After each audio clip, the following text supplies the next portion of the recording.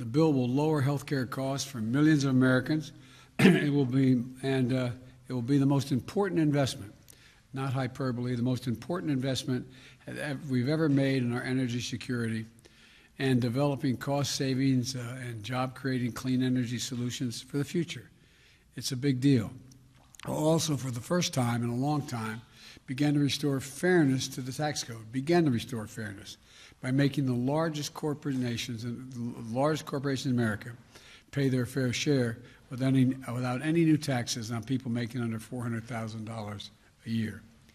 Experts, even some experts who have criticized my administration in the past, agree that this bill, this bill will reduce inflationary pressures on the economy. This bill will, in fact, reduce inflationary uh, pressure on the economy. It's a bill that cost, uh, will cut your cost of living and reduce inflation for, and it lowers the deficit.